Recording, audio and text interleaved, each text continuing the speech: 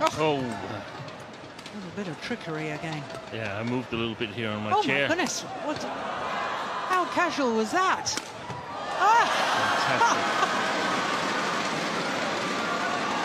I thought he'd stop playing the rally for a moment. And we saw a couple of those um, 13. moments yesterday Three. as well. Just looking at him. I don't believe that. And then a Sundra smash for the winner. Just watch this. There's some Oh. of the players, some of the players who play Lee Chong Wei feels that this is a little bit too much. It's not so nice.